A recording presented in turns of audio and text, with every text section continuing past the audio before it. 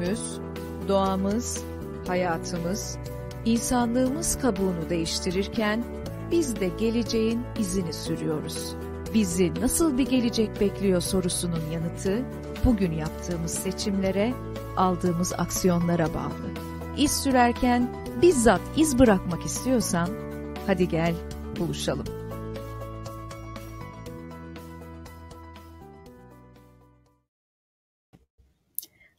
Herkese merhaba. Herkese merhaba. 18 Nisan saat 15. Tam da yayınımızın atına çok uygun bir konuğum var bugün. İçindeki uluslararası girişimciyle şimdiden en azından yakın geleceğimize iz bırakmış bir misafirim olacak. Hem de kuş seslerinin şahane geldiği, arkada yem yeşil bir görüntünün olduğu, taptaze bir bahar havasını daha uzaktan bakarken soluyacağımız bir fonda gelecek. Ee, ben vadide olduğunu zannediyordum ama Teksas'taymış, Austin'deymiş. Gelecektik sen dünyamızda biliyorsunuz odağımız işin geleceği. Bugünle bağlantısını kurarak yolculuğunu sürdüğümüz geleceğe hazırlık planlamaları yapan, organizasyonel çalışma kültürü ve iş gücünün hazırlıkları konusunda e, kürasyonlarla bu planlamalara destekleyen bir alan tutuyoruz. İşin geleceği girişimcilik kültürüyle çok iç içe geçmiş, çok iç içe geçmiş bir bağlantısı var işlerin bugününün ve yarınının. Organizasyonlarımız bir taraftan çeviklik ve esneklik testinden geçiyor. Bireyler olarak biz diğer taraftan adaptasyon ve hızlı beceri üretme testinden daha çok geç, geçiyoruz. İşin adında hız oldu mu, işin adında pivotlama oldu mu, değişimi yönetme kabiliyeti oldu mu? Bu tam da girişimcilik kültürünün ruhu ve bu ruhu bugünlerde daha da fazla ulusal sınırlar dışında göstermek gerekiyor. Uluslararası girişimci olmanın bir ruhu var ve bu ruhu konuşmak için nokta atışlı bir isim misafirim. Remote Team kurucusu ve CEO'su sevgili Şahin Boydaş. Şahin, e, valla bugün öyle bir yerde ki e, arka fondan göreceksiniz. E, cep telefonundan bağlanıyor. Normalde böyle pırıl pırıl YouTube ekranlarından çıkar ama göreceksiniz birazdan çok netleşecek. Birazdan e, kamera gelince, şey güneş ışığı gelince güzelleşecektir. Aynen öyle. Sabah 7 orada. Çok teşekkürler. Ben teşekkür Şahanesin. ederim. E, günü bizimle karşıladığın için çok teşekkür ediyorum ayrıca. Şahin bu konu birkaç hattan konuşulacaksa hemen her tarafta bir karşılığı var. Sen özellikle vadideki deneyimin, global ölçekteki girişimler ve yatırım dünyasının nefesini kokluyorsun. Bunun bir çıkış noktası var biliyorum kendi girişimcilik deneyimin. Ee, seni özellikle ilk kez tanıyacak liseli ve üniversiteli arkadaşlarımız için önce biraz bundan bahsetmeni rica ediyorum senden. Çünkü biz ee, gelecekteki sene olarak e, e, üniversitelerin girişimcilik kulüpleriyle çok yakından çalışıyoruz, çalıştaylarına katılıyoruz, mentörlüklerini yapıyoruz.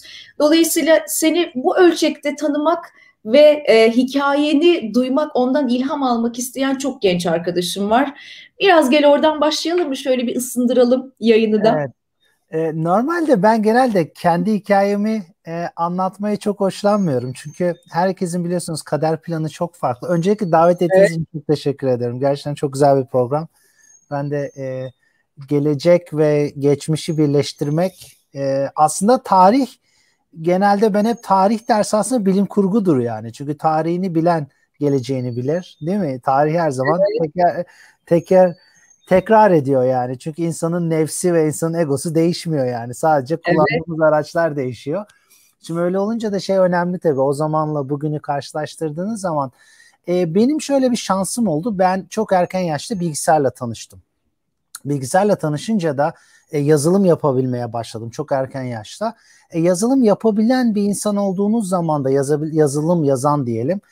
E, şöyle bir avantaj sağlıyor size. Bir şeyler üretmeye başlıyorsunuz. Yani bir ürün ortaya çıkarıp dünyaya bir ürün sunabiliyorsunuz. Bir ürün verebiliyorsunuz. E, o zaman öyle bir şey olunca da bu şu anda bu kavram biraz oturuyor. Maker diyorlar buna yani yapımcı. Evet.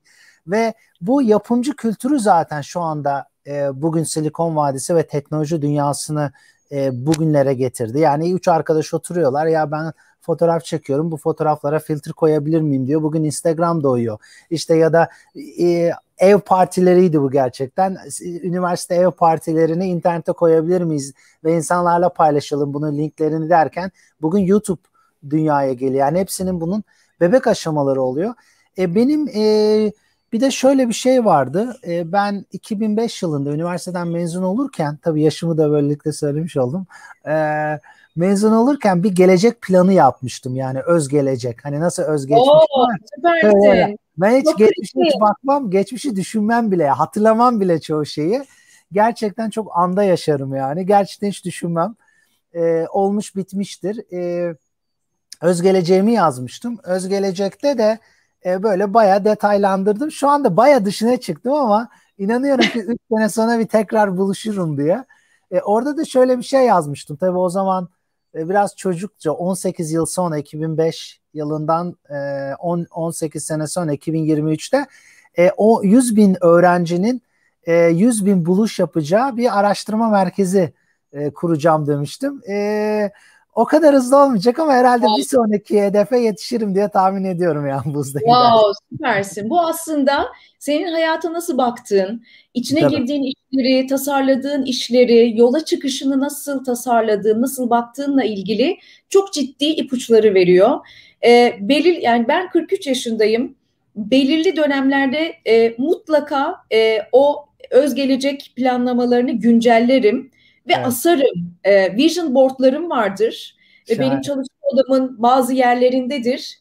E, asarım. Benim bir sosyal girişimim var. Aynı zamanda yeni e, e, doğmak üzere olan bir teknoloji girişimimiz var bir tarafta. Seninle kıyaslanmayacak bir yolculuk. Çünkü ben 20 senelik kurumsal hayattan sonra 23. seneme girerken son 3 yılda e, girişimciliği bizzat içinde böyle deneyimleye deneyimlemeye başladım. Ama müthiş bir kendine meydan okuma, müthiş evet. bir Allah Allah Allah Allah Allah Allah kendimi bu kadar iyi detaylı derinden tanıdığım başka bir yolculuğum zannederim yoktu. Şimdi bununla bağlantılı bir soru sormak istiyorum sana. evet, bir yere ben birkaç şey ekleyeyim buna. Burada Lütfen. şimdi şöyle bir şey var. Yani girişimcilik ve kurumsal hayatı karşılaştırdığınız zaman e, yani girişimcilikte ya öğrenmeniz, bilmeniz gereken bir böyle 40 tane konu var yani tamam mı? Hiç işte ins- insanlarla çalışma, ürün yapma, takip et. Ya o kadar çok değişik alan var ki bunun marketingi, product'ı, muhasebesi, maddi kısmı, parası, o parayı bulma. e, o parayı bulurken yüzlerce stresin içinde roller coaster deniyor buna. Bilmiyorum Türkçe ne diyeceğiz ama hani var ya Luna Parklarda öyle, roller coaster. Öyle Hani bir böyle her şey mükemmel giderken ah deyip böyle bir aşağıya düşüş vardır. Ee, gerçekten insanın midesinin kaldırması lazım bence siz Çok. Acayip ezber bozmak. Acayip ez yani ezber tabii ki doğru. Çünkü insanların e, yetiştiriliş tarzı, üniversiteler tamamen e, kurumsal hayata adam yetiştirmek üzere dizayn edilmiştir. Yani ve e, şey de dizayn edilmemiştir bence e, yani ben hatırlıyorum Koç Üniversitesi mezunuyum ben. İyi bir okul bence. Türkiye'nin çok iyi okullarından biri. E, 50 tane adam giriyor oraya. 45 tanesi 40 tanesi bilgisayar mühendisi olmuyor. Ya okul bir de senin bölümünü bildiğin şeyi de katlediyor yani dünyanın her yerinde bu böyle.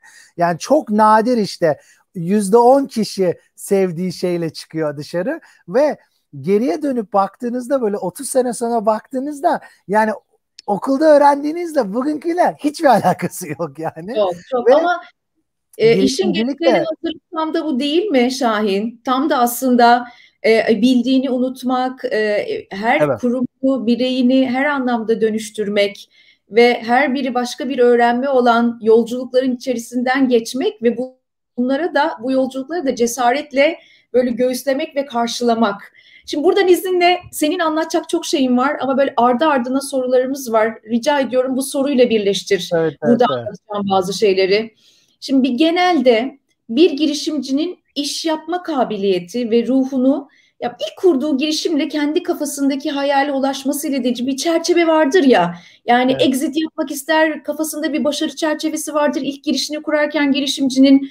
Ama asıl bir girişimcinin iş yapma kabiliyetini ben sürdürülebilir bir kabiliyet olarak farklı işi yaratma ve bunu e, ölçekleme olarak görürüm. Yani başarılı girişimcilere bakalım sen de bunlardan birisin. Bir işi kurar, büyütür, oradan öğrenir, hop devam eder. Sonra büyütür, hop onu exit eder. Sonra başka birisine de hop tekrar yolculuğa devam eder. Bu hep böyle devam eden bir yolculuk.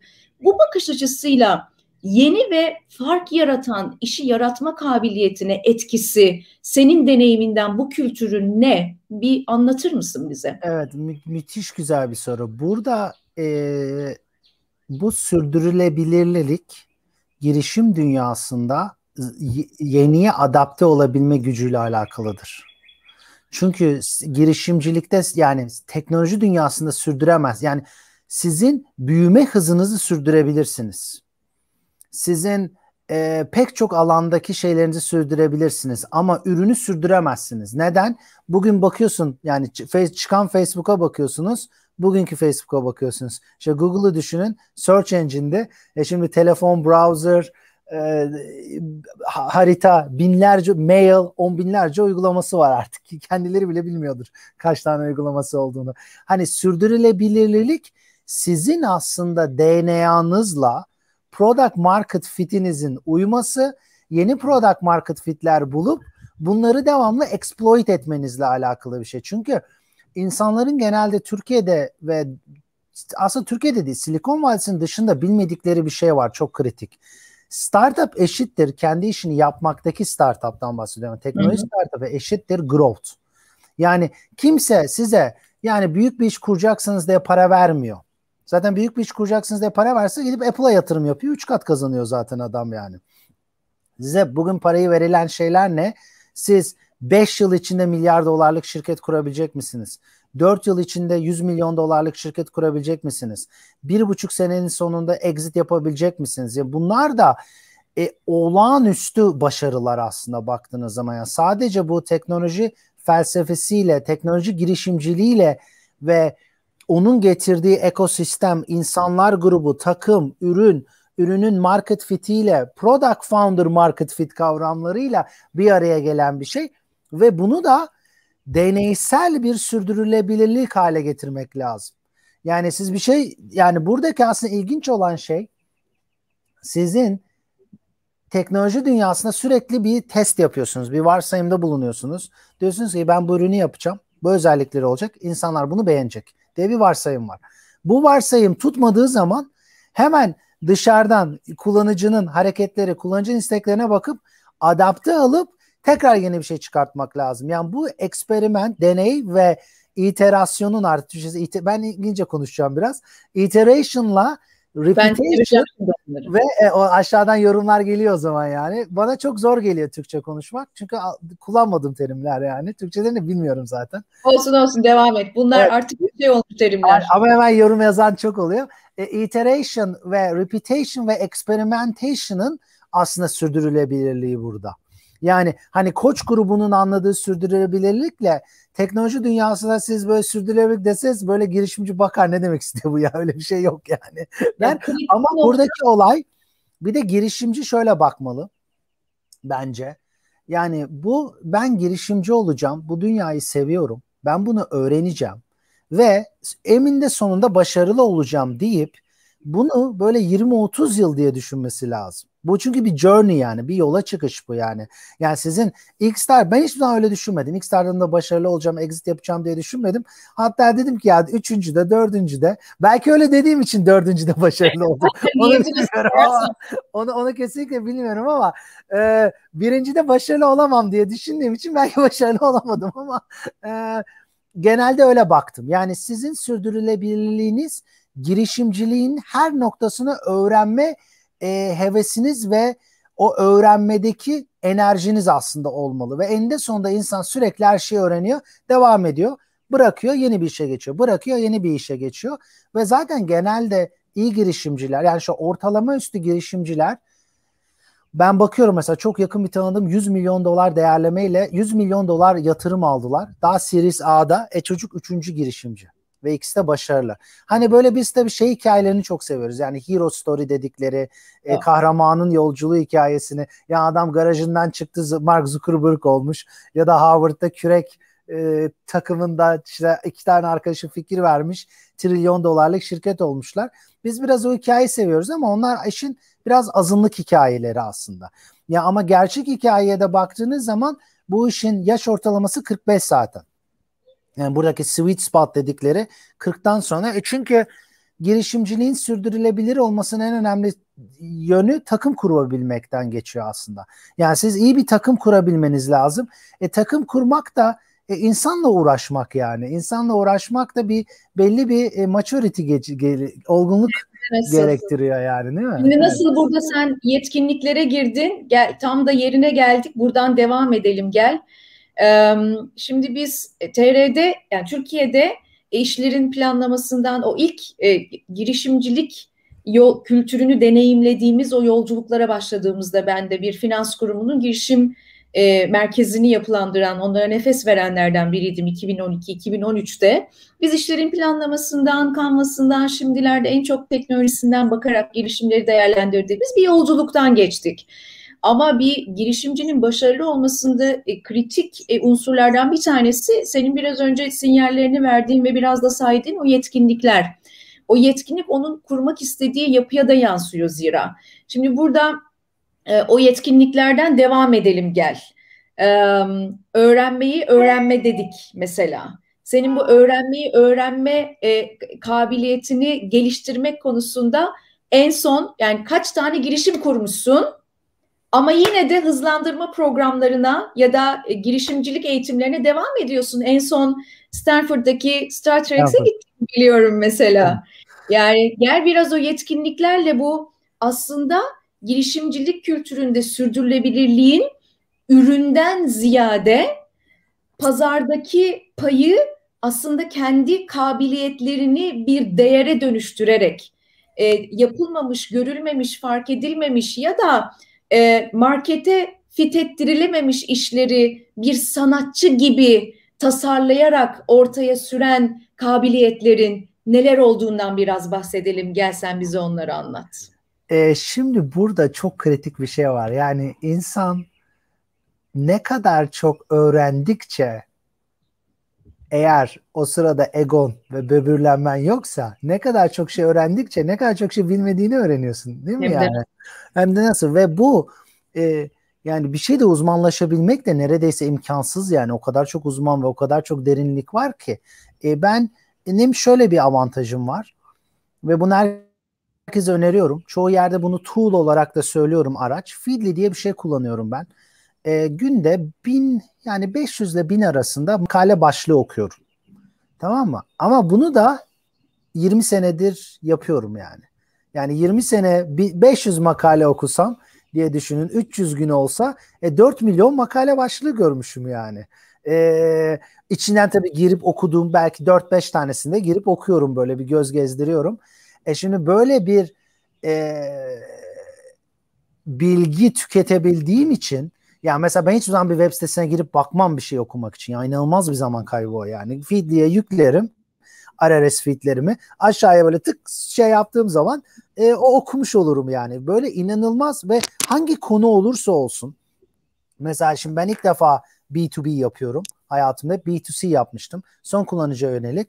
E ben şimdi B2B uzmanı değilim ki. Bilmiyorum ki B2B'yi. E o zaman da Stanford StarTex vardır. B2B'de çok iyi bu adamlar. Enterprise Sales, e, Small Small Medium Business, COBI dediklerinin satışında bir numara. E o zaman da başvuruyorsunuz. Yani hani burada şey demek biraz yanlış oluyor ya. Üç, üç kere girişimcilik yaptım. Yeni bir e, e, yeni bir hızlandırma programına e, girmeyeceğim diye bir şey de demiyorum. Ama bir de bende 5 tane oldu şu anda. Belki evet. YC de olabilir. E, belki şey diyorum bazen dalgasına Silikon Vadisi'nin en hızlandırılmış adamım diye bazen dalga geçtiğim oluyor ama e, gerçekten de çok. Ben seviyorum bir de. Yani her işin, her şirketin e, kendi insan grupları var sonuçta. Onun bilen insanlar var. Oradaki mentorlar, yatırımcılar, e, konuştuğunuz founderlar, o ekipte kuracağınız insanlar e, hepsi birbirinden farklı yani. Bu şey gibi orkestra aslında yani hani e, bu bir Steve Jobs'ın bir filmi vardır onu izleyin. Hani orada Steve Wozniak var Apple'ın kurucusu. E diyor ki yani sen hiçbir şeyde iyi değilsin diyor. Kod yazamıyorsun diyor. Şun diyorsun diyor. İşte şunda iyi değilsin diyor. Bunda iyi değilsin diyor. Ne de iyisin diyor. E diyor ben orkestrada orkestrayı ben çalıyorum diyor. Yani oradaki aslında orkestra şefi olabilmek çok önemli. E tabi ama burada şöyle de bir şey var. Yani o orkestrada çalan onlarca enstrümanı da bir şey de söyleyebilmeniz lazım. Hani bir e, açıkçası bir baya bir bilgi sahibi olmanız gerekiyor.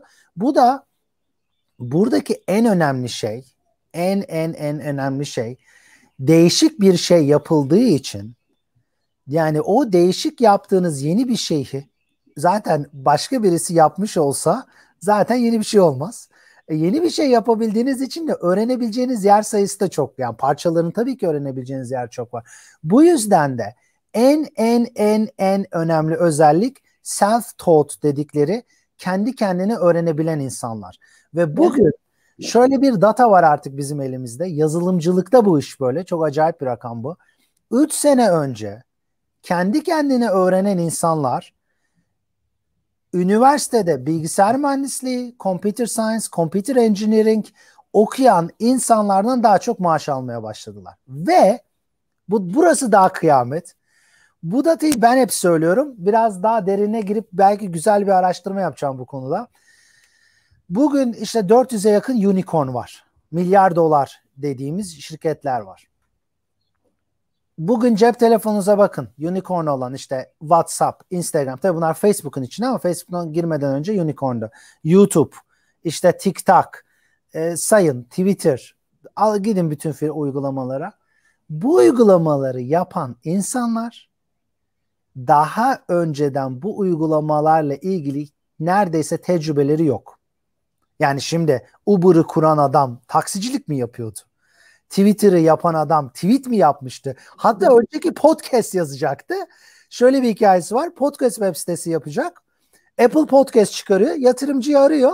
Diyor ki ya ben e, e, bunu yapacaktım ama Apple yaptı.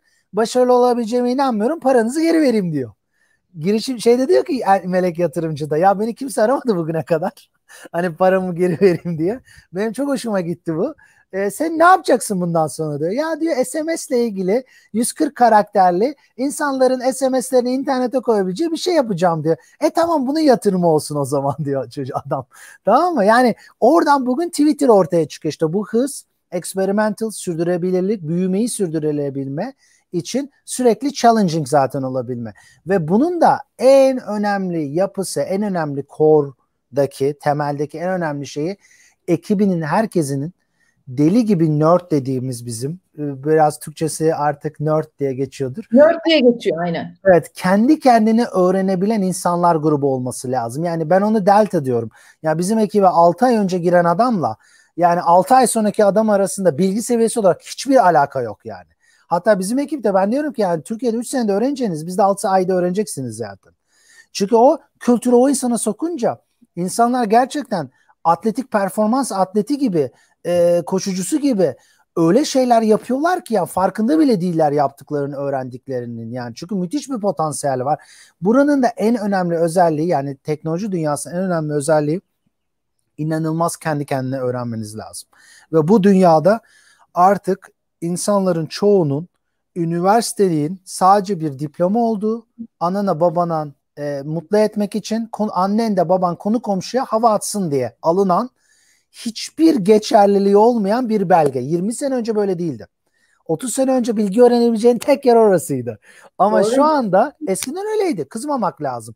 Yani bir yerden bir şey öğreneceksin. Kütüphane mi var? Cebinde internet mi var? Cebinde Wikipedia mı var? Cebinde işte atıyorum MIT kurslarını izleyebildiğin bir yer mi var? Yok.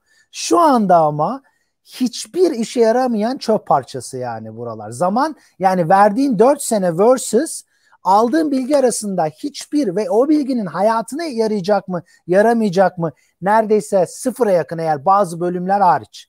Yani şimdi psikologdur, doktordur vesaire. Evet ee, öyle.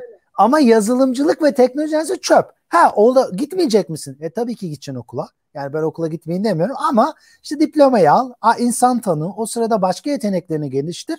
Annem baban da konu komşuya hava atsın, onları mutlu et. Ha, bunun için gidilir. Bu çok güzel bir neden, manevi bir neden ama bilgi öğrenmek için yani insanın o insandan yani o kadar yavaş bir bilgi öğrenme şekli ki tabii audio learner değilse ve o dersi anlatacak adamın da o dersle ilgili muhtemelen uzmanı değil. E şu anda siz dünyanın her konusunun her uzmanına karşılaşabiliyorsunuz, öğrenebiliyorsunuz ve uzmanlarından da yüzlerce var. Hani böyle bir iki tane de değil. Binlerce hatta bazı alanlarda. Şimdi ben mesela B2B yapıyordum. Growth öğrenmem lazım. B2B growth nedir? Nasıl büyütülür? Nasıl satılır? E bununla ilgili bir 10 tane blog takip etmeye başladım. Hemen o bilgiler geliyor. Bilgiler geldikçe okudukça o dünyaya girmeye başlıyorsunuz. Terimleri öğrenmeye başlıyorsunuz. Oradaki kim bunun uzmanları onu öğrenmeye başlıyorsunuz. Tık tık tık tık o konuda hızlı bir şekilde e, derinleşmeye başlıyor insan açıkçası. Doğru. 2020'nin Temmuz ayında e, Coursera ile e, e, yaklaşık e, böyle e, 30-40 adet e, Coursera ile birlikte araştırmalar yapan şirketler vardır. Sen onları çok iyi bilirsin. 2020'nin Temmuz'da bizim Türkiye gündemine düştü. 4 yıllık üniversite eğitiminin bu araştırmaya göre şirketler tarafından da artık çok uzun bulunduğu ve dolayısıyla e, daha farklı bir çözüm geliştirmek için alternatif yollara başvurmaya artık şirketlerin daha çok hazır olmaya başladıkları raporlar okumaya başladık.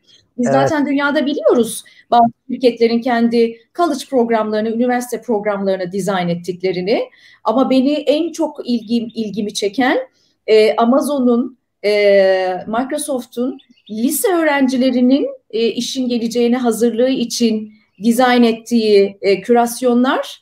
Öğrencileri alıyorlar, yetiştiriyorlar ve ondan sonra üniversite eğitimlerini fonlayacak e, kaynaklar da sağlıyorlar ve işi üzerinde deneyimleterek onları mesleklere e, alış, aşina edip yeni gündeme alıştırıp yeni yetkinliklerle donatıp iş hayatına hazırlıyorlar. O yüzden burada satır aralarında okunacak çok şey var. Doğru. Ee, öğrenmeyi öğrenmek ve bir orkestra şefi gibi işleri yönetme becerisi dedi özetle Şahin. Eğer şu andan itibaren bizi seyretmeye, dinlemeye başlayan e, izleyicilerimiz varsa e, işin geleceğine hazırlıkta girişimcilik kültürünün çok e, iç içe geçmiş bir bağlantısı var. Aslında hiçbir şey birbiriyle bağlantısız değil. Bugün bu kültürün içerisinde iş yapma deneyimi kazandırmak aslında organizasyonların geleceğinin nereye gideceği, o departman yapılanmalarının nereye gideceği, biz bireylerin kendini bir şirket gibi, kendini bir e, çok çoklu becerileri sahip e, aynı anda birkaç tane enstrümanı çalabilecek yetkinlikte, birkaç tane beceriyi konuşturabilecek yetkinlikte bir orkestra şefi gibi yönetebilme kabiliyetlerine götürüyor.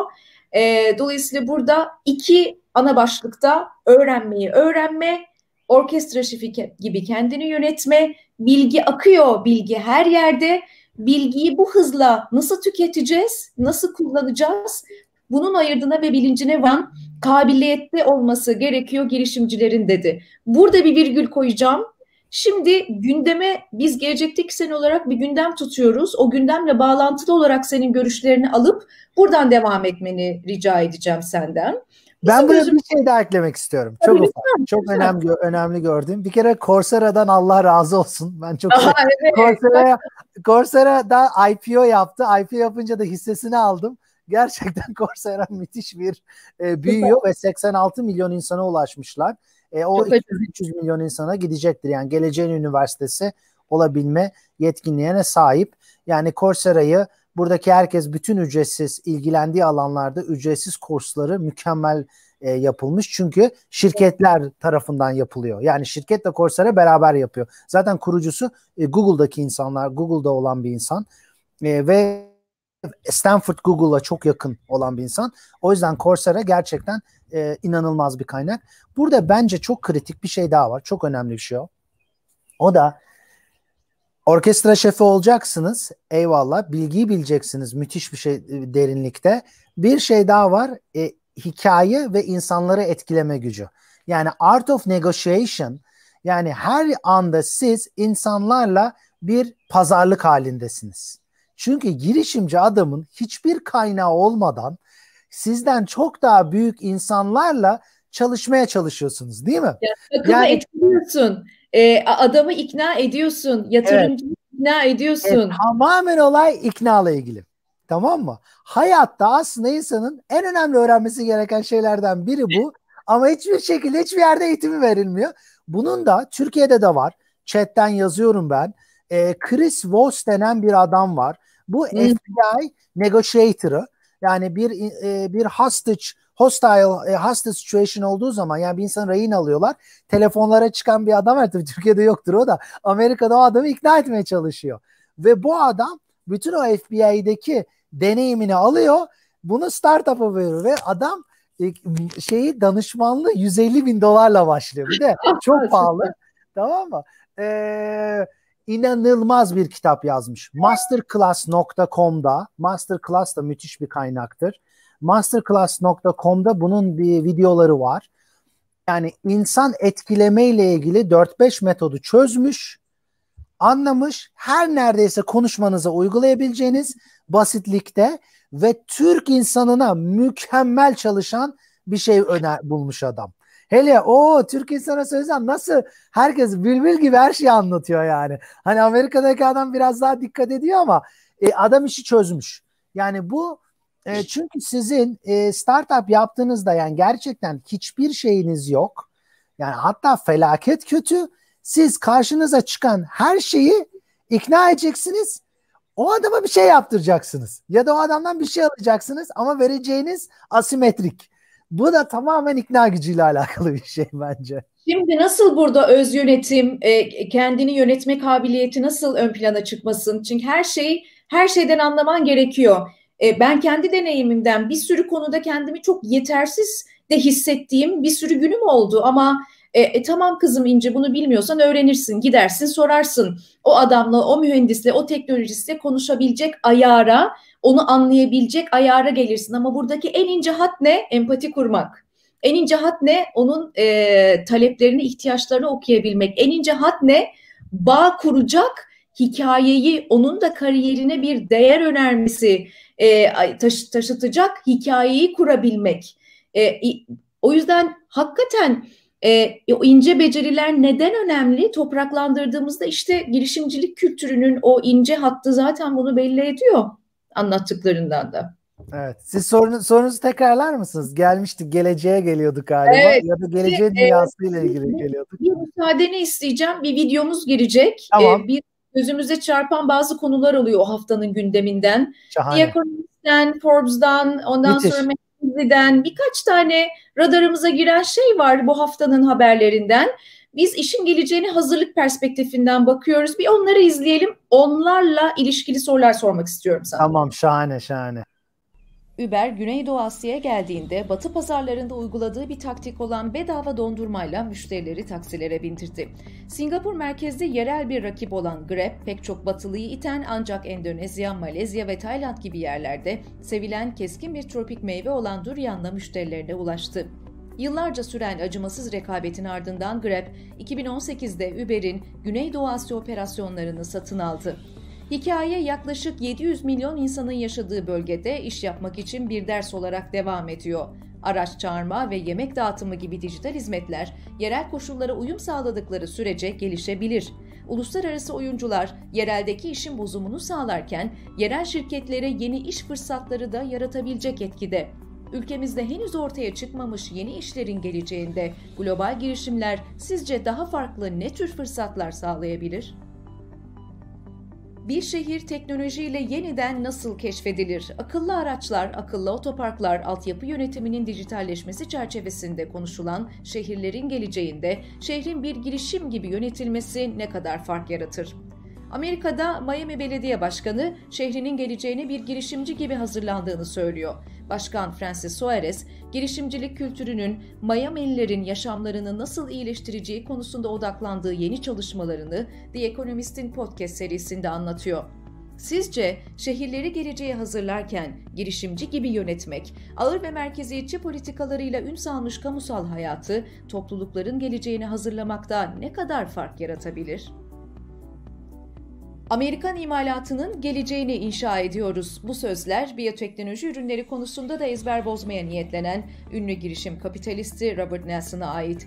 Nelson ve bir araya getirdiği rüya takımı yeni kurdukları Resilience adlı şirketleriyle şimdiden Forbes manşetlerinde Ark Venture Partners'tan aldıkları 800 milyon dolarlık fonla konuşuluyor. Nelson ve Rüya takımının sağlık ve imalatın geleceğini toptan değiştirmeye niyetlenmelerinin arkasında farmaların bu ürünleri bir maliyet merkezi olarak görmesi, mevcut biyoteknoloji şirketlerinin yeterli kaynağı olmaması, akademinin de başta ürünleri ticarileştirmek üzere işi nasıl yapacaklarını bilmemelerinin yattığı görüşleri var. Sizce sağlık ve imalat sektörünün geleceğinde girişimcilik kültürü, işlerin hızlı ölçeklenmesi ve test edilmesi dışında ne tür farklar yaratabilir? Şahane. Ee, Şahane haberleri seçmişsiniz. Bu e, e, Forbes'un sondan başlayalım gel. E, yani Forbes'da iki gün önce çıkan e, makaleydi bu. Evet. E, biyoteknoloji özellikle Amerika'da da Silikon Vadisi'nden biz pandemiyle sağlık girişimlerini bir keşfettik yeniden. Bunu eğri oturalım doğru konuşalım. Yani daha çok fintechler, daha çok oyun girişimleri, daha çok e, işte e, yazılım sektörünün servislerine odaklanmış girişimcilik kültürü pandemiyle sanki daha fazla sağlığa odaklandı. En azından Türkiye'de öyleydi.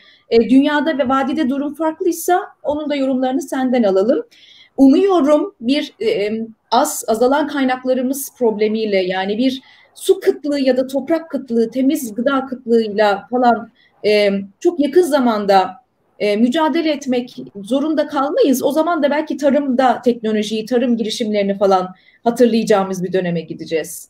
Şimdi burada aslında bir şehri yeniden inşa etmek de olsa iş, bir e, sağlık sektörünü, sektörleri yeniden inşa etmek olsa da ya da e, yerel ürünler, yerel pazar, global ürünler, global pazar da olsa da aslında bir kültürün temel dinamiklerini her yere uyumlu, uygun ve çalıştırılabilir hale getirmek var.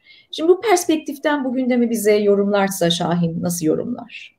Şimdi e, çok güzel haberler seçmişsiniz. Florida'nın e, pardon Maya Florida'nın e, şu andaki e, mayor'ı gerçekten belediye başkanı. Amerika'da eyaletleri ülke gibi düşünmek lazım. Yani gerçekten evet, devlete evet. kafa tutabiliyorlar. Mesela federal hükümetin yaptığı Amerika çok ilginç bir yer. Yani bir federal hükümet var bir de state'ler var, eyaletler var. Yani federal hükümetin yaptığı bir şey state yapmayacağım ben diyebiliyor. İşte mesela biz Texas'ta ben o yüzden buraya geldim. Hiçbir zaman yasak olmadı.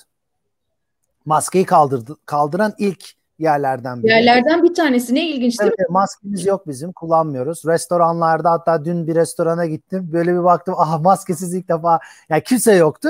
Kapıdaki maske şeyini de kaldırmışlar. E, çünkü şey CDC bir şey açıklıyor e, mas bu Amerika'nın sağlık e, Central Disease Control e, kurumu yani Amerika'nın en bu konudaki yetkili kurumu bir makale yapmışlar. E, tabii insanlar bunu kabul eder etmez ayrı bir şey ama e, restoranın içindeki maskenin restoran maskesi olmakla restoranda maskeli olmanın etkisi 1.8'miş ve hiçbir zaman super spreader event dedikleri bir anda böyle topluca yayıma neden olmuyormuş. Çünkü çok yeteri kadar insan olmadığı için kaldırdılar. Ama mesela diğer eyaletlerde tam tersi. Daha da zorlaştırıyorlar. İşte Amerika'nın böyle bir şey. Florida'daki kişi de şöyle bir şey oldu. Yani Silikon Vadisi'ne insanlar ayrılmaya başladı bu pandemiden dolayı. Ve gittikleri 2-3 yer var. Yani e, biri Florida'ya giden çok büyük bir insan grubu var. Acayip. Mesela e, benim tanıdığım bir 10 tane yatırımcı Florida'ya gitti. Miami, Florida zaten aynı yer. Aynı yerin içinde. Eee pek çok büyük bir grupta aslına geldi. Yani böyle bir değişik. Şimdi o kadar çok insan oraya geldi ki girişimci mesela Keith Robois çok ünlü yatırımcı oraya gelince e, belediye başkanlarıyla da sürekli konuşuyor. Ve şöyle bir şey dünyada bence kanıtlandı. Yani siz burada bir fintech girişimi yapıyorsunuz. Financial technology girişimi. Ya sizin yaptığınız girişim Coinbase mesela en son IPO yaptı. Ya bu firmanın değeri 65 milyar dolar ya. 10 sene içinde Türkiye'deki bütün bankaları satın alabilir yani. Değil mi? Siz burada yeni, yeni bir teknoloji yapıyorsunuz. Türkiye'de girip bütün bir sektörü alabilir yani. Bu Türkiye'de dünyanın her yerine girip yapabilir. Ya demek ki şöyle bir şey anlaşıldı. Bizim normal kurumsal düzenimiz kesinlikle bu gelip hızlı büyüyen korkunç değerlemelere inanılmaz paralar kazanabilen firmalarla rekabet edebilme şansı neredeyse sıfır artık. Bunu artık dünya çok iyi anladı. O zaman da ne yapıyor? Yani biz nasıl bu modeli alıp e, kendimize yedirebiliriz ya da nasıl biz modeli alıp kendi kültürümüze bunu koyabiliriz diye e, korkunç bir çalışma var açıkçası. E, bunu sonuçta şey de çok mantıklı bir şehri startup gibi yürütmek ve çünkü baktığınız zaman devlet yol bile yapmayı Amerika'da en özellikle insanlar e, devlet bize her şeyden uzak dursun diyen bir yapısı var. Yani insanların. Ben öyle diyorum. Yani devlet bizim hiçbir şeyimize dokunmasın. Devlet tamamen bizden uzak dursun. Çünkü devlet yolu bile yapmayı beceremiyor. Yani devlet neyi yapmayı başarmış ki hayatta bize bir konuda bir şey yapacak ya. Aman olabildiği kadar uzak dursun. O yüzden de çünkü o kadar hantal, o kadar kötü, o kadar yavaş, o kadar e, pahalı bir yapısı var ki devletin. Yani bir New York'ta bir hikaye vardır. Yan yana bu tuvaletler, yan yana ama ortadan çizgi geçiyor. Biri devletin, biri özel sektörün. Devletin yaptığı tuvalet 3 milyon dolar, özel sektörün yaptığı tuvalet 300 bin dolar ve daha güzel özel sektörün yaptığı. aynı yan yana havalar, yani dip dibe duvarlar. E, şimdi e, Florida'nın tabii ki şu anda e, mayor'ı çok ünlü oldu. Yani belediye başkanı. Evet. The Economist'te podcast'i var izle. E, tabii tabii şahane. O da diyor ki yani biz şehri tamamen yani geleceğin şehri olarak dizayn etmemiz lazım. Neden? E, milyarlarca dolarlık adamlar oraya denk geldi. Yani işte benim çok yakın tanıdığım Great Oaks Capital var. Benim önceki yatırımcım.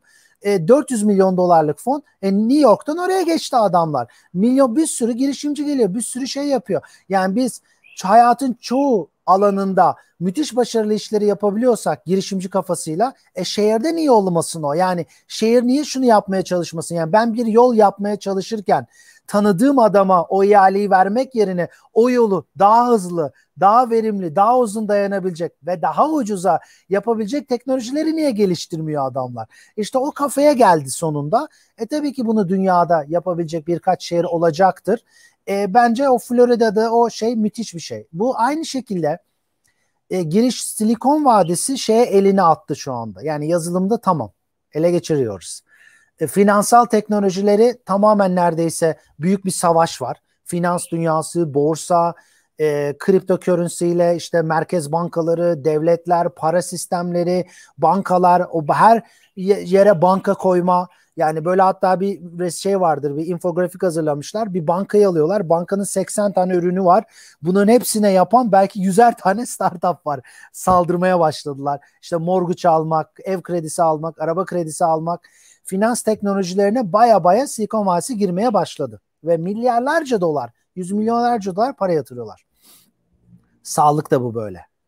Yani sağlık da çok hantal bir yapı 5-6 e, firmanın e, büyük kontrolü elinde ve tabii ki çok inovasyon var. Tabii sağlık konuları hızlı olamıyor. Kolay bir şey değil çünkü çok fazla regülasyon var, FDA var. Ama Stanford StartX'te de görüyoruz. Teknoloji, biyoinformatik ve sağlık tamamen iç içe geçmeye başlıyor. Yani bizim Apple Watch'umuz yarın öbür gün geleceğin sağlık ürünü olacak. Tim Cook da böyle yapıyor. İşte bizim şekerimizi ölçebilecek, tansiyonumuzu ölçebilecek, nefes alışverişimizi ölçebilecek, kıyafetlerimiz akıllı olacak, telefonumuzda yediğimiz yemeğe kadar her türlü bilgi olacak ve bize devamlı önerilerde bulunacak. Yani bu neredeyse e, pandemi de ilginç bir şey sağladı bu konuyla ilgili. Ama sağlık sektörüne girişimcilik ruhu geliyor ve Silikon Vadisi'nde neredeyse çoğu büyük yatırımcının bir health tech startup'ı var. Yani herkes çok büyük paralar yatırıyorlar. O yüzden de e, bir 5-10 sene içinde e, çok müthiş girişimcilik örnekleri göreceğiz sağlık alanında. Bu e, kamu politikaları konusunda bir şey söyleyerek izinli bir sonraki videoya geçmek istiyorum. Onunla ilgili de sorular soracağız. Çünkü bu hat şimdi öyle bir hat. Ee, biz gelecekteki sende e, birçok farklı e, kurum çalışanları için, lise ve üniversiteler için ve yetişkinler için de bootcamp'ler yapıyoruz. Ee, teknik ve ince becerilerle e, dijital iş geliştirme deneyimlerinin bu deneyimsel öğrenme alanı dediğimiz iş üzerinde deneyimlemenin alanlarını çalıştırıyoruz.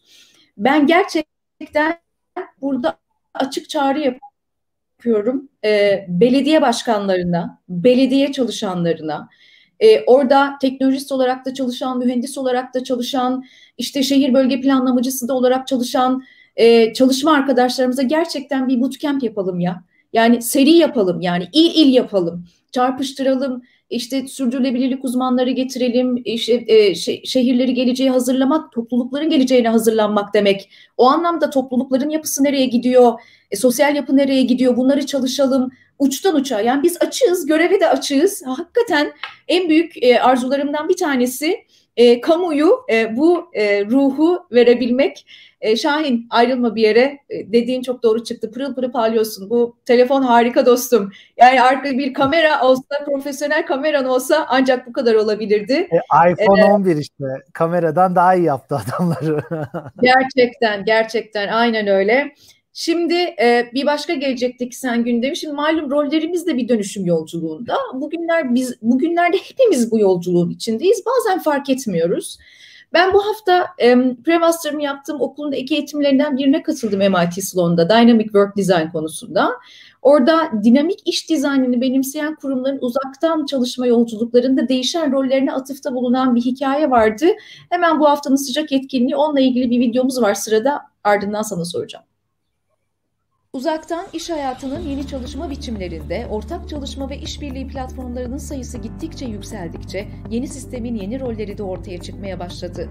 Bu rollerden biri de Visual Managers yani görsel iş yöneticileri. Şirketler Miroboard, Notion, Trello, Mural gibi sistemleri uzaktan çalışmayı yönetme kolaylığı için keşfettiği bir yolculukta. Bu da şirketleri sözlü iletişimle yazılı talimatlar yerine akılda daha hızlı kalan iletişim ve iş yapma yöntemlerini kullanmaya yönlendiriyor.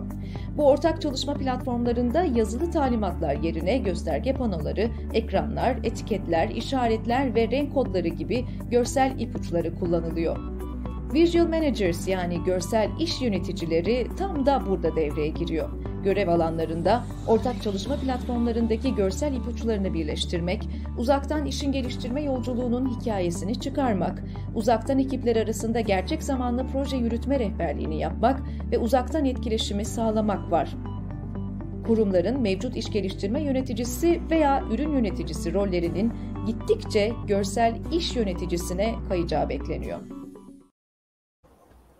Şahin biz kurumlara üst yetenek ve yeni yetenek ve upskilling programları çalıştırıyoruz. Orada en çok sorulan sorulardan bir tanesi bize e, var olan roller nasıl dönüşecek?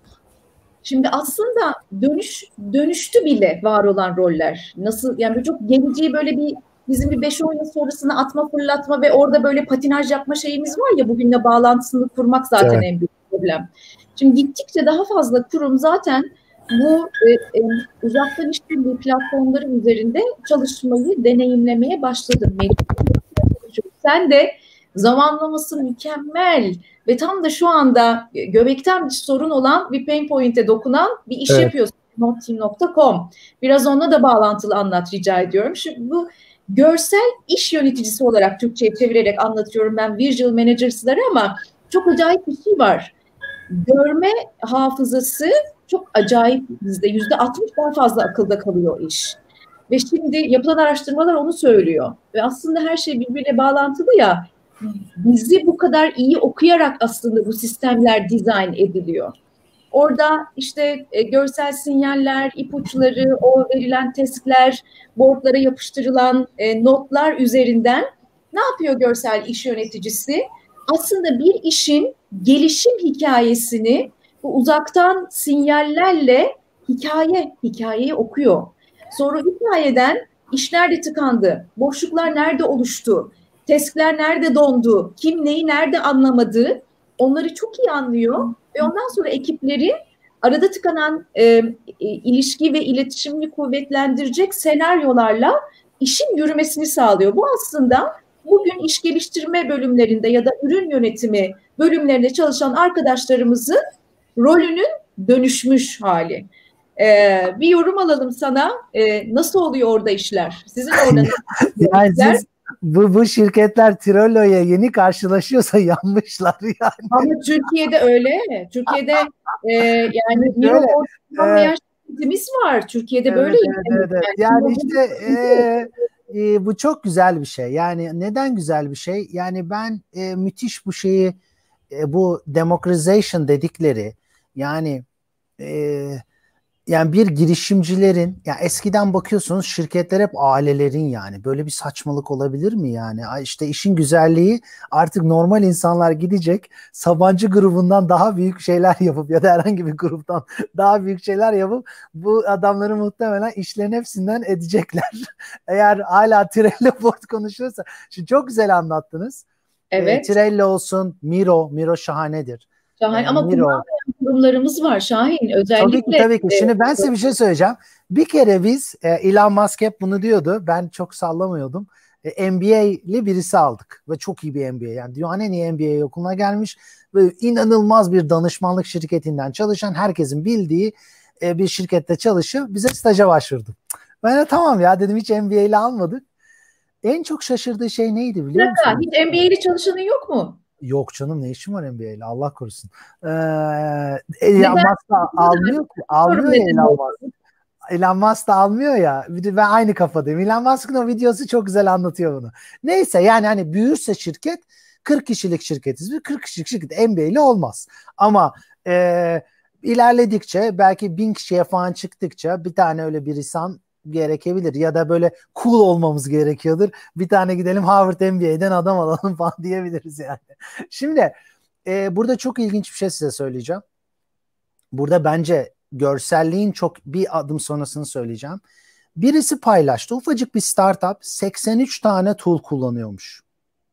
Tamam mı? Biz de wow. buna yakın 80'e yakın araç kullanıyoruz. Şimdi bakın Sizle Neler nasıl, evet, size nasıl bilmiyorum nasıl iletişime geçtik ama bana birisi yazar e, yani ben geçen sene geçen 12 ay içinde 800 tane toplantı ayarlamışım.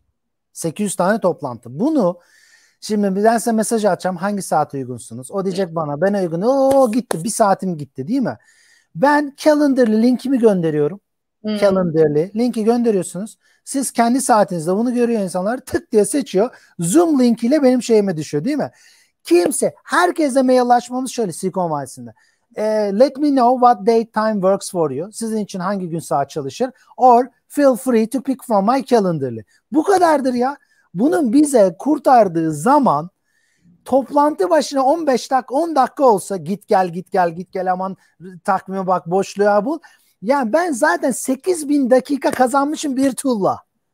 Bir tane takvim. Bizim zaten NBA'nin en çok şaşırdığı şey ya bu tool bizde olsa diyor. E, yani şirkette 10 kişi işten çıkarırız diyor yani. o kadar ve herkes o kadar zaman kazanır ki sekretere ihtiyaç kalmaz yani. Ama tabii o iş yapar.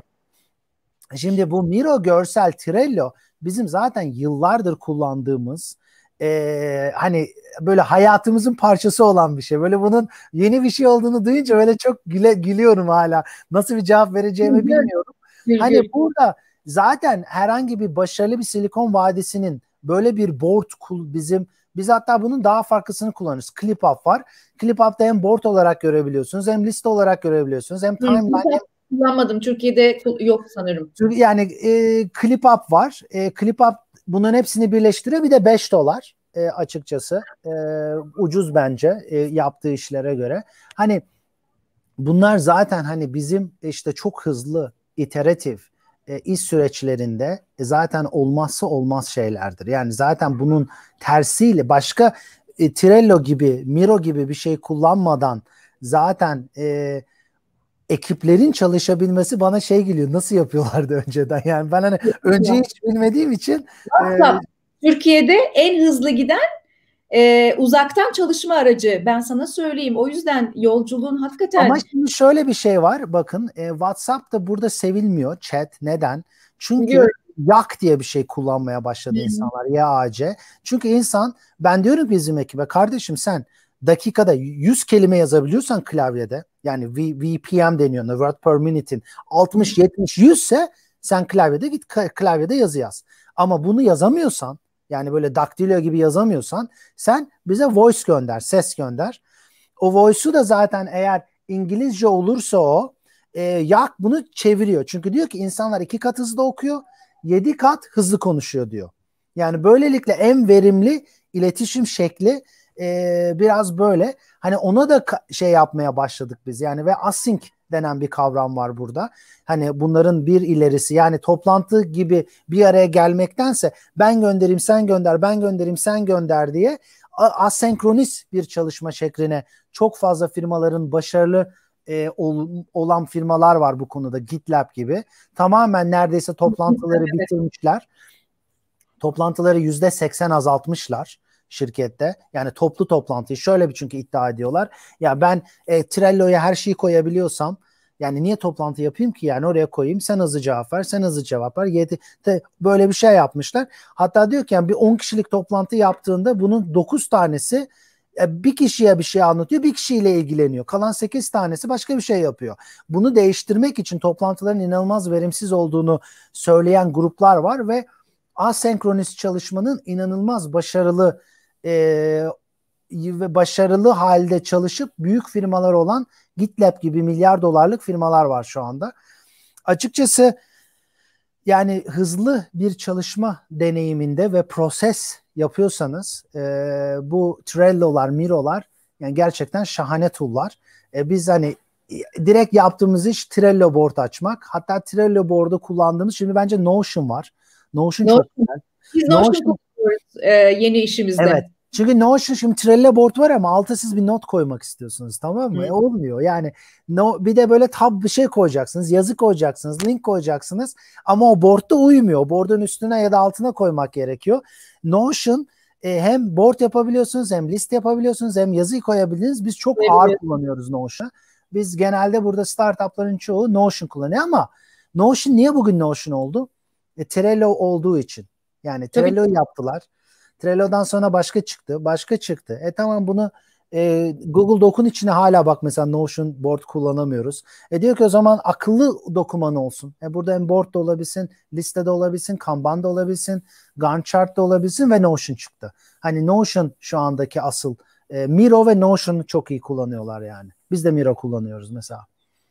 Süper. Ama buradaki önemli olan buradaki basit bir startup bile yani onlarca tool kullanabilirken büyük şirketlere, kurumlara baktığınız zaman e, kullanmıyorlar. İşte buradaki biraz yapı da değişmeye başladı. Yani Slack kullanmaya başladı şirketler.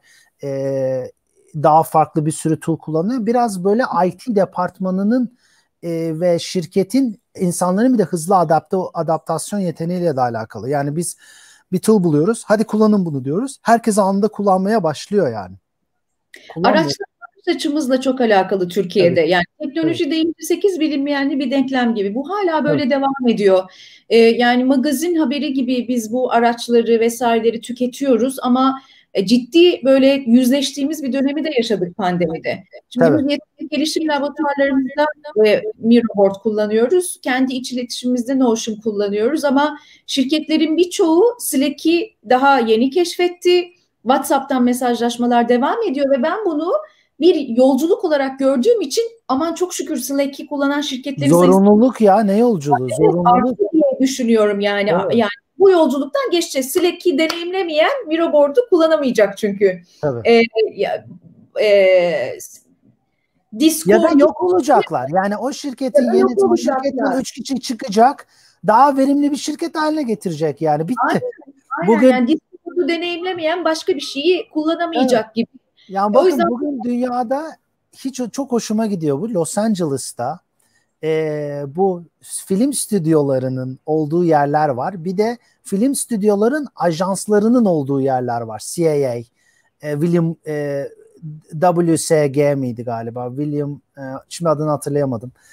Bunların oradaki büyük billboardlarda ne var biliyor musunuz? YouTube reklamı var. YouTube'un altına yazmış bir adam gösteriyor böyle alakasız altına diyor ki 45 milyon follower. Yani oradan şimdi oraya Tom Cruise giriyor binaya.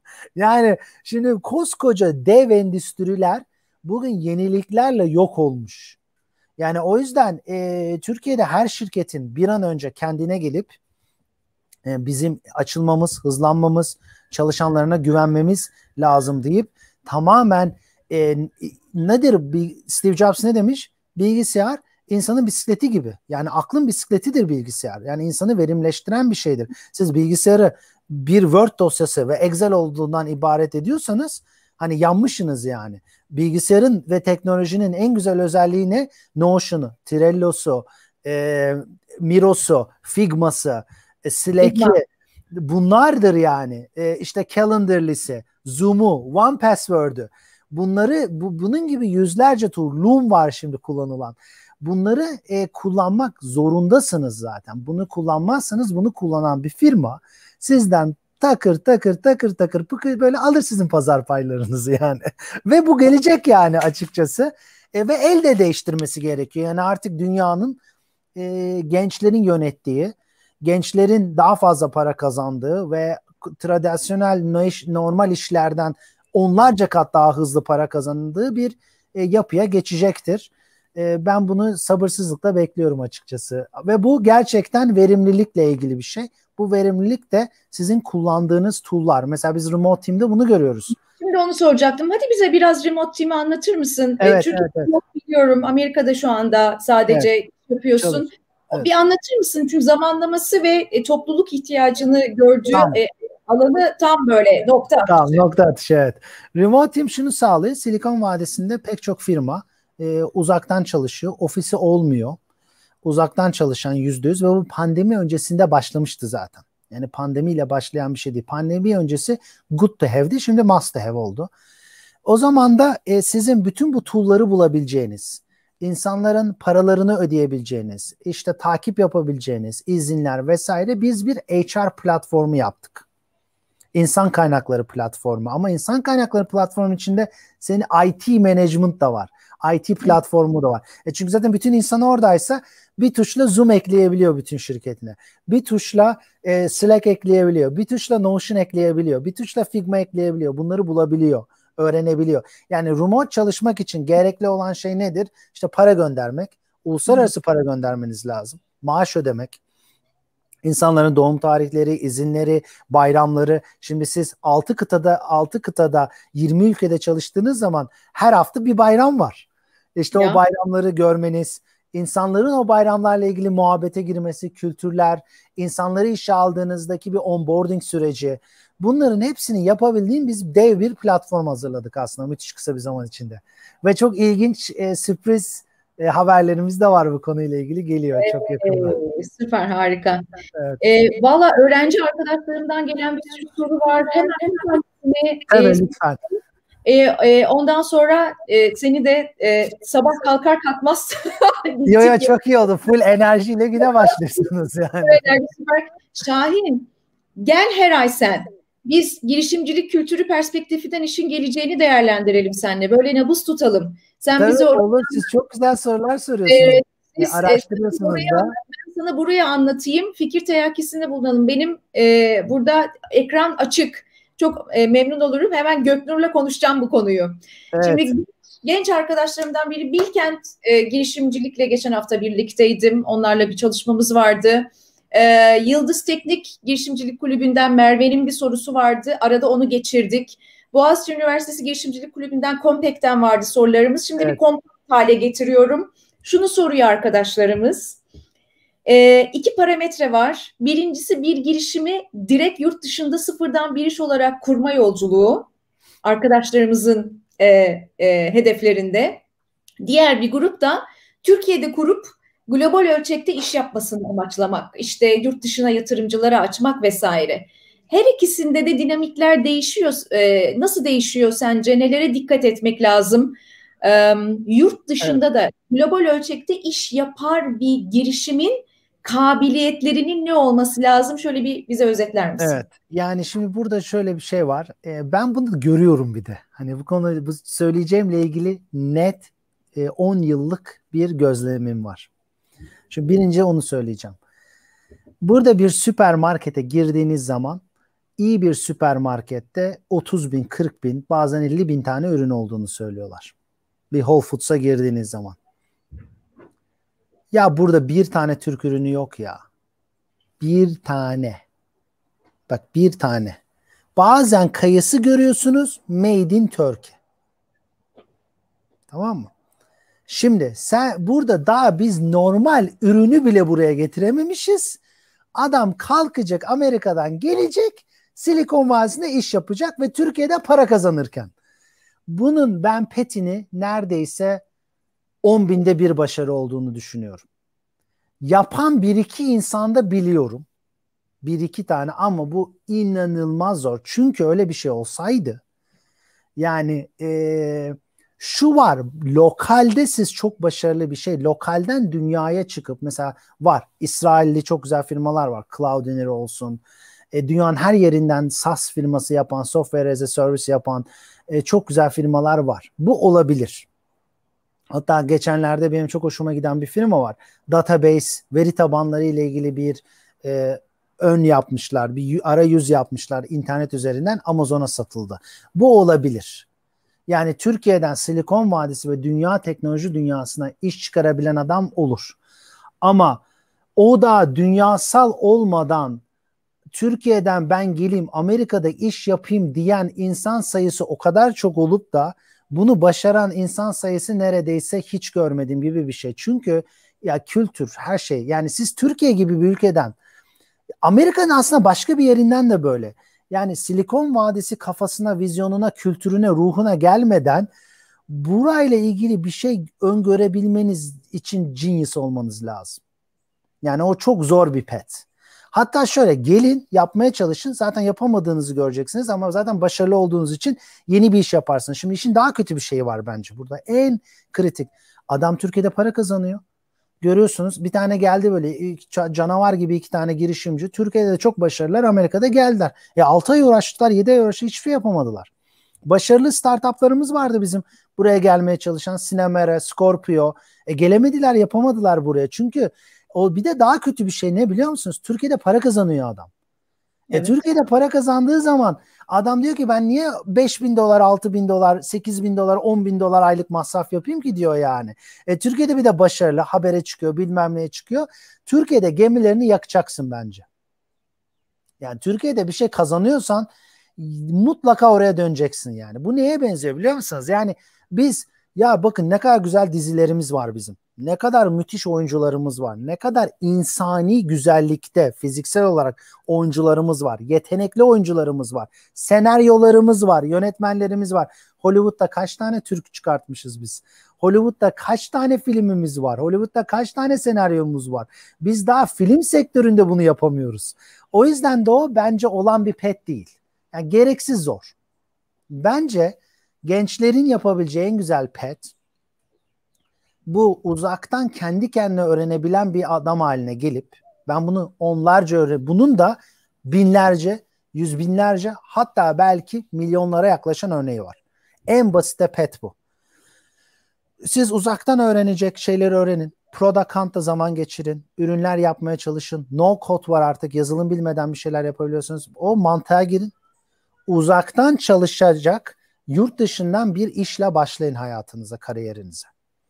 O firma sizi severse sizi zaten olduğu ülkeye getirir ya da siz o kafeye geldiğiniz zaman zaten daha iyi bir firmaya girebilirsiniz. Ben mesela Miro'da çalışan bir Türk'le karşılaştım geçenlerde. Ee, evet Hollanda'da çocuk. Miro'nun growth manager'ı Türk mesela. Tamam mı? Hatta böyle LinkedIn'de görünce ben yazdım hatta ona. Ondan sonra ettik 15 dakika. İsmini ee, e, soru alayım senden Şahin. Bir yayına davet ederim onu. Ee, tabii, e, yani şimdi şöyle bir şey var. E, tabii çok çok var. E, o yüzden buradaki en güzel pet en basit basitçe yapabileceğiniz Türkiye'den canavar gibi bir İngilizce yapacaksın. Türkçe kaynak ben hayatımda hiç okumadım. Çok ya okuduğumu hiç hatırlamıyorum. Ee, tamamen Silikon Vadisi'ne artık insanlar uzaktan öğrenebiliyor. Digital nomad deniyor buna zaten. Ee, uzaktan artık Silikon Vadisi firmalar zaten uzaktan çalışıyor. Diğer insanlar da bunu gördükleri için uzaktan iş alma inanılmaz büyüyor. 19 bin tane açık uzaktan çalışabilecek iş olan dün Producant'ta bir site gördüm. Be Free diye yani özgür ol diye Be Free 19 bin tane pozisyon varmış. Wow. Tabi. Böyle olunca e, bu tabii muhtemelen de azdır o yani çok daha yüksektir. E böyle olunca yani siz o konularda kendinizi geliştirip gençler için siz uluslararası bir firmaya da yani Türkiye'de yani e, bir yerde çalışmaktansa yani Silikon Vadisi'nde en kötü firmada bile çalışacaksınız. alacağınız 500 dolar, 1000, 1500 dolar, hadi çok başarıysanız 2000 dolar para Türkiye'de size sizin o yaşınızda kimse vermez. Yani ben olsam gece gündüz uğraşır bunun yöntemlerini, bunu yapmış insanlarla Amerika'daki, Avrupa'daki, dünyanın başka Bali'de mesela çok fazla dijital nomadlar bunlarla konuşur. Bunlarla ilgili o kadar çok kaynak var ki. Yani böyle sınırsız kaynak var. Uzaktan adam o başarı hikayesi. Çünkü biz Türkler başarı hikayesi gördükçe mutlu olan insanlarız. Çünkü bizde e, e, kopyalama nasıldır mesela profiterolcü açılır inci hemen yanına öz inci kurarız. Bizde karşılaştırma, tenkit, kıskançlık ve kopyalama kültürümüz vardır bizim. İyi yönde de kullanabiliriz, kötü yönde de kullanabiliriz. Ama biz bizden yeteneksiz bir insanın başarılı olduğunu gördüğümüz zaman ben de bunu yapabilirim demeye başlıyoruz. Çünkü bizler şey kültürleriz yani çocukluktan beri hep kahramanlarla büyümüşüz. Yani önümüzde her gün okula gittiğimizde kahraman görmüşüz yani tamam mı? Bizim o yüzden rol modellere ihtiyacımız var kültür olarak. Rol modelimiz olmadığı zaman biz patlıyoruz millet olarak. Bu rol model ama böyle şey değil yani bir devlet büyüğü falan gibi değil. Nedir? Bunu daha önceden yapmış genç bir çocuk. Sizden daha kötü bir okula gitmiş daha başarısız bir adam bunu yapmış olması. Biz bunu yapınca diyoruz evet ya bunu ben de yapabilirim demeye başlıyoruz. Bizim Türklerin e, gerçekten bu core DNA'sında olan kültüründe olan bir şey. Bu yüzden de bu çocuklar, gençler girişimci olabilmek çok güzel ama çok zor bir yol. E, yani sen zaten bugüne kadar girişimci olmadıysan senin çocukluğunda ya ben çocukluğumda misket satıyordum oyun satıyordum. Ondan sonra bilgisayar toplayıp satıyordum. Web sitesi yapmaya başlamıştım. Hani o senin zaten ruhunda yoksa bunu Sonradan kazanı genç yaştayken ayrı. Biraz belli bir yaştan sonra zaten tecrüben var. Hızlı bir şekilde koy. Genç yaşta gir gir bir şirkete. Girişkenlikle girişimciliği de karıştırdığımız bir kültürümüz var bir de aynen Şahin. Öyle, aynen öyle. Aynen öyle. Aynen öyle. O yüzden bence ben olsam yani Türkiye'de bir şirkete gireceğim, uğraşacağıma deli gibi İngilizce öğrenirim deli gibi bu tool'ları, teknolojileri bilirim. Bunların olduğu yerlerde takılırım internette Nomad List, Product Hunt, bu makerlardan. Buralarda kendimi geliştiririm. İlginç birkaç tane şey yaparım. İşe nasıl başvurulur? Nasıl mail atılır? Nasıl yazılır? O ayrı bir sanat. Nasıl networking yapılır? Nasıl kendini sevdirilebilir? Bunların hepsi bir proses. Ama yapmış yüzlerce adam var. Kaynak onlarca, yüzlerce, belki yüz binlerce kaynak var. Bunları öğrenir Buradan uzaktan çalışan bir iş alırım. Bu 3 sene önce mümkün değildi bu kadar. 4 sene önce gerçekten zordu. Şimdi inanılmaz mümkün. Çünkü herkes bunu yapmaya çalışıyor. Ve biz Türkiye olarak ilginç bir avantajımız var. Hindistan Amerika'ya uzak kalıyor. Saat farkından dolayı. Hı. Yani Amerika'daki bir şirketin hele New York'taki bir şirketin en alabileceği en uzak yer belki Türkiye olacak, İsrail olacak. Aynı Ukrayna belki işte Rusya'nın bazı saat bilimi. Ondan sonra çok zorlaşmaya başlıyor. Çünkü bizim saatimizin 3'ü senin gecen oluyor. E ben saat 2'ye toplantı koyduğum zaman adamın gecesine denk geliyor. Ama Hindistan'la, Çin'le inanılmaz zor oluyor bu. Pakistan'la çok zor oluyor. Malezya'yla çok. Şimdi bizim remote şirketler olduğu için bizim sistemde görüyoruz. Dünyanın her yerinden çalışanları var. Mesela firma var. 100 kişisi var bunun. Dünyanın evet. her yerinden çalışanı var adamın. Hep de duyuyorum bunu. O yüzden biz acayip şanslıyız ve şunu yapabiliriz yani. Kendi kendine öğrenebilmeyi başardığı zaman insan yani şunu duyacak ya ben kimseye muhtaç değilim. E, iddia, e, neydi? İhtiyaç olduğum kudret e, asıl damarlarında gizlidir demiş Atatürk yani. Al bu sözü tamam mı? Yani onu kendine koy. O, o kudreti al asıl damarlarında akan kandan. Öğren öğrenmen gereken şeyi ve proses sürdürülebilir bir şekilde bunun detaylarını öğrenecek. Her funnel'ın. Ya adam atıyor 200 tane mail attım diyor. Ben genelde cevap veriyorum insanlara. Tek cevap veren sendin. Ya demek ki sen 200 tane mail atarken kendini geliştirmemişsin daha iyi nasıl mail atarım diye yani. Hep aynı e-mail atmış ne? 10 kişiye attıysan çalışmıyorsa demek ki yanlış bir mail atıyorsun yani. Hani o mantıkta bakıp uzaktan iş almaya bakardım ben açıkçası. Ondan sonra daha iyi bir firma, daha iyi bir firma 26 yaşlarıma 27 yaşlarıma geldiğim zaman e, şey yaparım. E, girişimci olmaya soyunuyordum. Ben çok erken girişimci oldum. Çok acı çektim. O yüzden ben böyle bir petin daha mantıklı olduğunu görüyorum.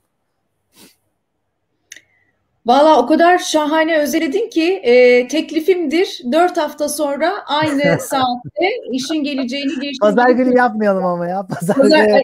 Pazar yok, pazar sabah da olabilir. Türkiye'de e, eğer insanların evde olduğu saatler daha iyi yani cumartesi sabah olabilir. Pazar bir saat önce yapabiliriz ama mesela daha iyi olur. Tamam, tamam. konuşuruz. Onu konuşuruz. Çok teşekkür ediyorum. Ben çok teşekkür ederim. geldin ee, ve arkadaki e, gerçekten şahane görüntü. Şimdi evet. senin de Dijital değil, gerçek görüntü.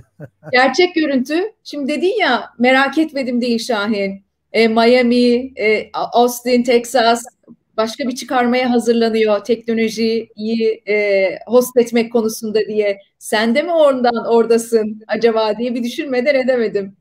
E tabii şimdi yani bizim Silikon Vadisi ve Kaliforniya gerçekten e, çöktü. Yani bu pandemide rezil bir duruma geldi. E, gelinebil- şu anda. Efendim? Sessiz bir köy gibi. Yani e, öyle olsa çok güzel ama bilim kurgu filminden çıkmış e, kötü bir yer daha güzel bir şey buna. Hmm. Yani ve işte evsizlerin olduğu sokaklarda, e, elektriklerin ki ya ben Silikon yaşıyorum Cupertino'da. Elektrik yoktu iki hafta ya delirdiniz mi ne yaptınız ve neymiş efendim yangın yanmış. E, yangın niye yanıyor? Tamam tabii ki biz dünyayı çok kötü bir hale getiriyoruz. Climate change, iklim değişikliği vesaire tabii ki var ama bir bakıyoruz ki elektrik firmasının %50'sini elektrik firması çıkarıyormuş. Çünkü kullandıkları elektrik direği görseniz burada 100 senelik, 50 senelik elektrik direkleri çöküyor ya da şimşek böyle patlıyor. Yangın çıkıyor. E, benim iki hafta elektriğim yoktu. E de işin daha acı verici bir şeyi yani tamam evler biraz daha genişçe Türkiye'ye göre ama yani e, verdiğin elektrik parası, harcadığın para, yaşadığın yaşam kaliten e, bunun üzerine Silikon Vadisi'nin Silikon Vadisi yapan şeylerden en büyük şeyi insanların bir araya gelip bir araya gelip çalışması, buluşması, Network. yemeğe gidilmesi, dışarı yürülmesi. Şimdi burada mesela ne oluyor? Üç arkadaş geliyorsun, yürüyorsun. Yürürken konuştuğun fikirler. Tamam mı? Sen hangi aracı kullanıyorsun? Biz bunu kullanıyoruz. Nasıl işe alıyorsun? Yatırımcıyla nasıl konuşuyorsun? Bu kültür. E bu da yok. O zaman İnsanlar diyor ki ya ben neden 10-15 bin dolar para harcayayım burada yaşamak için ki diyor ya da ben burada niye sürüneyim diyor bu kadar pahalı bir yerde. E bir de sokaklar evsizlik. San Francisco'da e, suç oranları almış başına gitmiş. Bütün hapishanelerden insanları çıkarıyorlar şu anda. E, sürekli insanlar bıçaklanıyor sokakta. Her taraf iğne, pislik, insan pisliği kaynıyor San Francisco'nun çoğu yerinde. E, çadır şehri oldu yani. Öyle baktığınız zaman da e, insanlar diyor deli miyim ben diye burada yaşayacağım yani. E, bir de fazla liberallik biraz artık saçmalamaya baş. Okulların isimlerini değiştiriyorlar e, vesaire. Böyle hani mantıklı işlerle de uğraşmıyorlar. Efendim? Çok ilginç onu duydum. Yani yaşayan çok arkadaşım var okul ismi değiştirmek.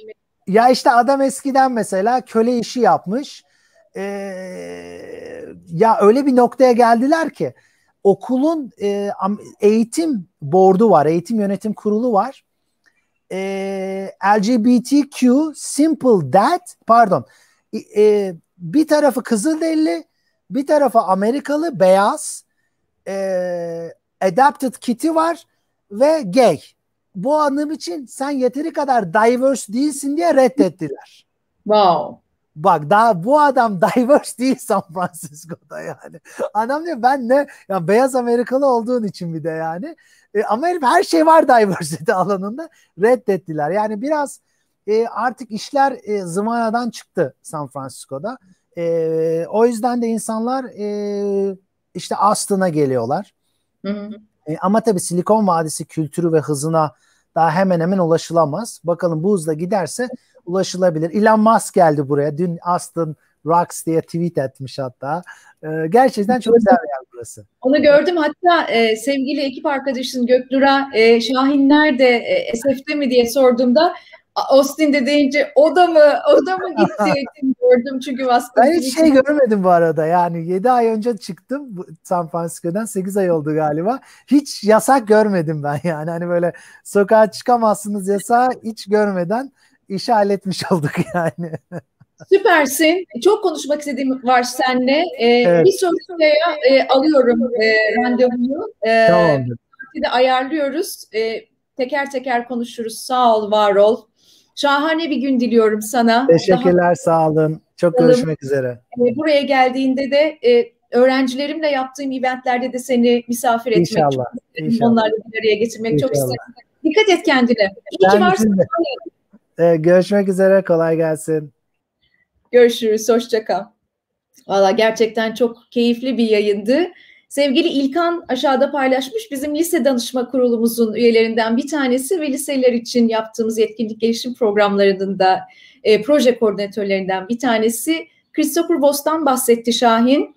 E, ikna ve müzakere sanatının bir e, girişimcinin e, iş yapma kabiliyetini aslında hepimizin dijital dünyadaki iş yapma kabiliyetinde ne kadar kritik olduğundan bahsetti. Masterclass.com'da e, içerikleri var. E, İngilizce'de Türkçe'ye çevrilmiş bir kitabı var mı yok mu bilmiyorum. Ben bir tane e, e, İngilizce'den bir kaynağa ulaşmıştım. Biz araştıralım varsa Türkçe'den gelecekteki senin hesaplarından da paylaşırız. Hatırlatmış izleyen herkese çok teşekkür ediyorum. Bu haftayı bir e, bu hafta gözümüze çarpan, radarımıza çarpan başka bir şeyle daha kapatmak istiyorum. Valla bugünlerde e, iş hayatında e, böyle toplantılarda bir araya geldim ya da ortak işler yaptım. Birçok arkadaşımdan ne kadar tükendik, ne kadar kendimizi yorgun hissediyoruz.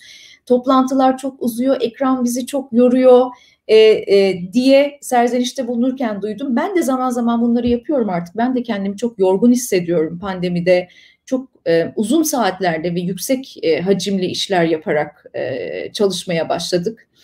Günün bir ilham verenine bakalım. Pazar pazar ilham alır mıyız? Alırız. Şahin'den aldık mesela. Stanford İşletme Enstitüsü öğretim görevlisi Naomi Bagdonas bu hafta bir etkinlikte bir araya geldiler. Stanford Üniversitesi öğretim görevlileri. Daha fazla gülmenin daha iyi yönetmenize işleri nasıl yardımcı olabileceğiyle ilgili bir yazısı da çıktı hatta e, zannediyorum McKinsey'deydi.